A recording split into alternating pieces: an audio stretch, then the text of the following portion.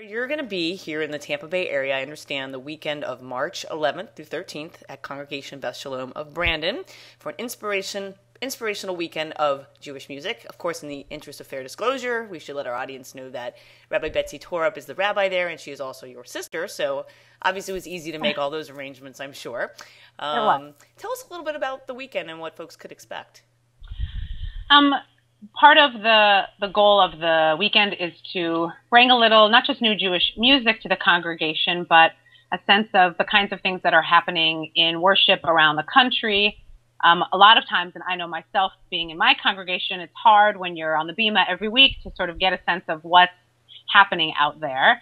Um, so for Rabbi Torop and the congregation to have a chance to be infused with just some new creative ideas. Um, I'm privileged that I'm able to do some traveling, so I have a sense of what's happening out there. So the Friday night service will be, in addition to me leading as the cantor, I'll be teaching um, some new melodies to the congregation.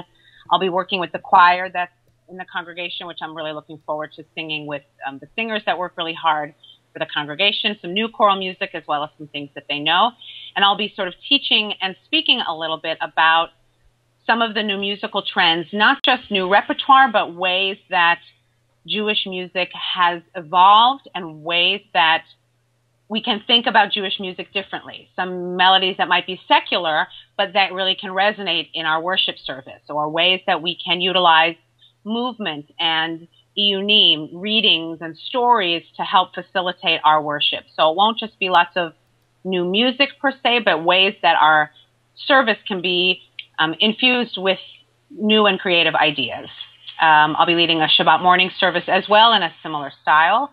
And then Saturday evening, we'll be presenting a sort of informal concert. Some of the music that I like to sing, albeit show tunes, um, a lot of sort of secular folk music, and some of the Jewish music that has inspired me, as well as, again, some congregational melodies. It's really important to me even when I perform that the congregation participates a lot. So I'll be teaching them some new melodies and inviting them to sing along. So that's the weekend.